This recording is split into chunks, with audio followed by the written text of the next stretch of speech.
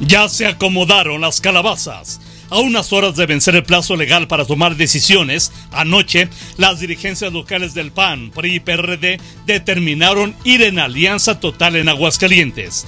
Este acuerdo se logró bajo la base de que el PAN designará candidatos varones en los ayuntamientos de Aguascalientes, Calvillo, Jesús María y Rincón de Romos, en tanto que mujeres panistas serán las candidatas en El Llano, Pabellón de Arteaga y San José de Gracia. Al PRI le corresponderá asignar abanderadas en San Francisco de los Romo, Tepezalá y Cocío, todas ellas mujeres, en tanto que asiento será para el PRD, organismo político que ha decidido postular al morenista José Manuel González Mota es un hecho que Leo Montañez buscará la reelección en la capital del estado.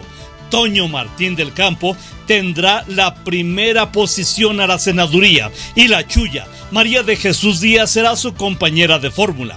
Por cierto, aquí pretendía colarse Lorena Martínez, quien ayer renunció al PRI en un último y desesperado intento por ser siglada a través del PAN para ir en la segunda posición al Senado, situación a la que se oponen rotundamente todos los panistas.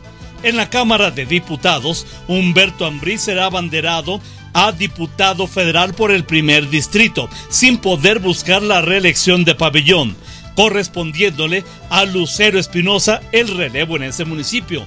Por el Congreso del Estado, al PAN le tocará designar candidatos en los distritos locales 1, 2, 4, 5, 6, 7, 8, 10, 11, 14, 15, 17 y 18. El PRI solo tendrá la candidatura del 12, en tanto que el PRD irá en los distritos 3, 9, 13 y 16. De esas posiciones, una será para Cuauhtémoc Escobedo, otra para Emanuel Nájera y una más para Alma Hilda Medina. Sí, ella irá por el PRD. En la casa de enfrente, Morena, ocurre todo lo contrario, pues dejaron en el camino al PT y al Partido Verde, de quienes se convencieron solo son un lastre. Eso sí, los morenos llevarán como candidata a la alcaldía a una expanista y espetista que ya es morenista.